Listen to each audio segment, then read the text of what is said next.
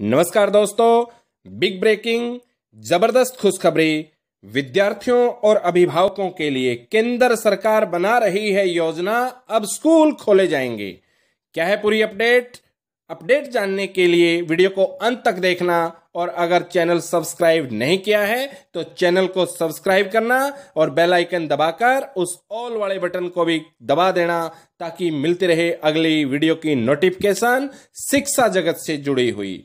तो दोस्तों, हरियाणा सरकार के साथ साथ केंद्र सरकार भी अब मूड बना चुकी है स्कूल खोलने को लेकर, क्योंकि हरियाणा के शिक्षा मंत्री तो पहले ही कह चुके हैं कि यदि सरकार, केंद्र सरकार की ओर से मंजूरी मिलती है तो हम स्कूल खोलेंगे।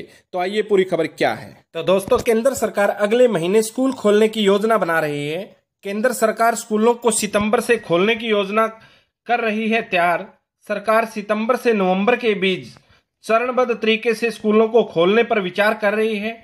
इसके तहत पहले दसवीं से बारहवीं के छात्रों के लिए स्कूलों को खोला जाएगा। उसके बाद छठी से नौवीं के लिए स्कूलों को खोलने की योजना है।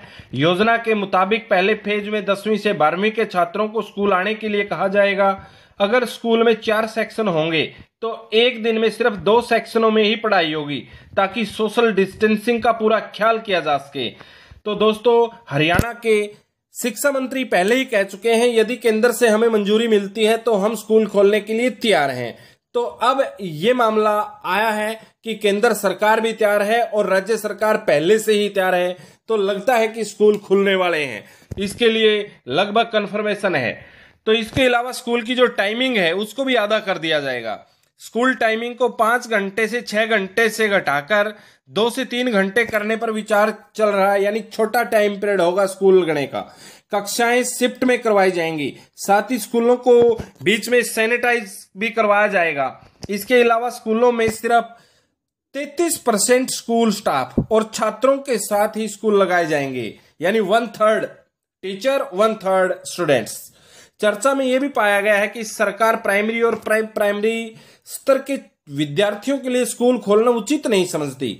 ऐसी स्थिति में ऑनलाइन कक्षाएँ ही ठीक हैं। माना जा रहा है कि इसके संबंध में गाइडलाइन को इस महीने के अंत तक नोटिफाई किया जा सकता है, लेकिन ये सारा काम राज्य सरकारों पर निर्भर करता है। राज्य सरकारों पर इसकी छोड़ दी गई है कि राज्य सरकार क्या चाहती हैं।